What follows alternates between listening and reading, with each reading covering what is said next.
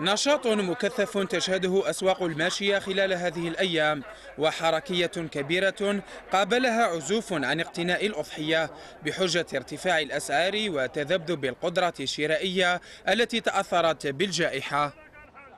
يقدر يشتري يقدر يشتري يعني في متناول الجميع ولكن القدرة الشرائية مذبذبة يعني صراحة on peut pas يعني cacher les يعني آه، الجيب فارغ على المجموع يعني على العموم. أزمة كورونا راك تعرف. الأسعار normalement راها غالية شوية mais على حساب الوقت اللي رانا فيه. بال- بالشي اللي راه كاين دركا ما ظنيتش يقدر يشري الاسعار بالنسبة للعام اللي فات راها زايدة مليون مليون ونص على الشيء اللي كان.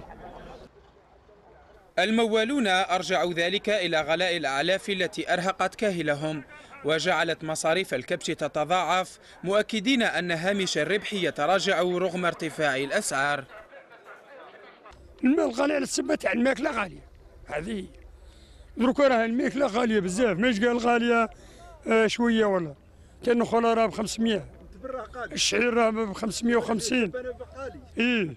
أنا في الخروف من 23 ونص حتى ل 33 الخروف. العلوش من 6 حتى الربع هذه الاسعار تاع السوق اليوم السوق هادي طول. لا بيع فيه لا شراء محبوس والماكلة غالية وكما راك تشوف. جدلية أسعار الماشية تطفو على السطح مع كل عيد لتضاف لها مخلفات الجائحة التي أثرت على القدرة الشرائية وجعلت الإقبال على اقتناء الأضحية يتراجع.